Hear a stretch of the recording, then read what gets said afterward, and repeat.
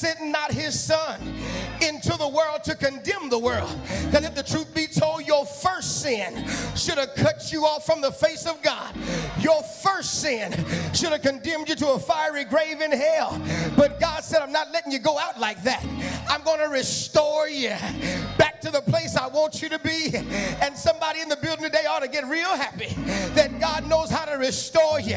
When other folk kick you to the curb, when other folk give up on you, when other folks say you're not meant for any good, when other folks say you're worthless and useless, even when the government are without jobs all over the country, God says, I'm able to restore you. I'm able to make sure you don't look like what you've been through. I'm able to put a smile back on your face and let you know that trouble don't last always. If there was anybody in here who was real testimony, they'd be able to open up their mouths and say, I don't look like what I've been through. I don't look like all the mess I've made, all the mistakes I've made, all the drama I've caused. But some kind of way, God covered me and restored me. He began to work on me so that my hands look new and my feet look new. Is there anybody in the building who can testify that He's restored my very life? Psalm 23 says He restores my soul. He keeps me alive when the enemy's trying to take me out. He keeps me alive when the devil thought it was all over for me.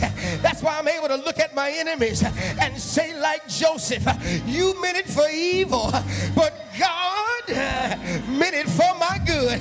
Is there anybody in here who can testify? He restored me when my life was almost over. He restored me when I was depressed and didn't want to go on any longer. He on me. He restored me. Look at me. I'm a testimony that God will restore your life. God will restore your peace.